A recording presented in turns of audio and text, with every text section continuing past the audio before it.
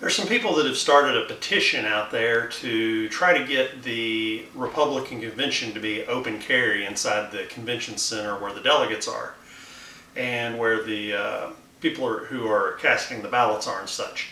And I just wanted to say what a tremendously dumb idea this is. It's probably being done by trolls on the other side and by a few people who are so Second Amendment uh, pro that they really haven't gone and thought that deeply about it.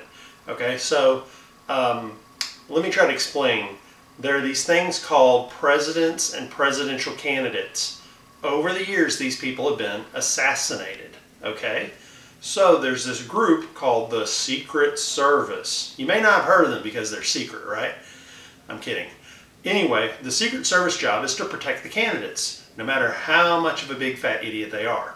So, whenever somebody who's open carrying were to be around them and to pull their gun out to aim it at the candidate, the Secret Service guy has to jump in front of the candidate and get shot. Okay? And then the rest of them shoot the shooter. Okay, so this is why guns and Secret Service simply don't mix because their only concern is to protect their individual.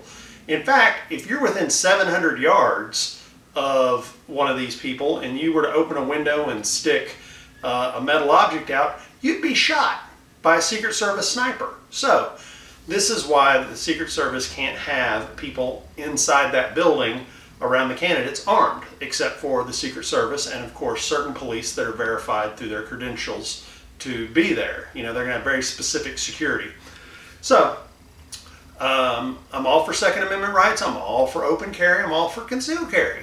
But, again, this particular situation, you have a very unique set of circumstances with the Secret Service presence. And it's not only to protect the Secret Service uh, agents uh, and the candidates, but it's also to protect the people in that facility too, to have it be a uh, zone where no one's carrying except for the law enforcement. Now, and I've always said, you know what? If you're going to tell me that I cannot carry a weapon in your place of business, you better provide me with armed security to make sure I'm safe. In this situation, armed security is all over the damn place. There's no need for carrying your weapon in self-defense. Uh, now, if you go to the grocery store and they say you can't carry inside, screw them and go to another grocery store. But again, the, the, there's no way the Secret Service and the, their federal statutes are going to uh, let anyone in there who's armed who shouldn't be. So it's a moot point. You can have all the petitions you want.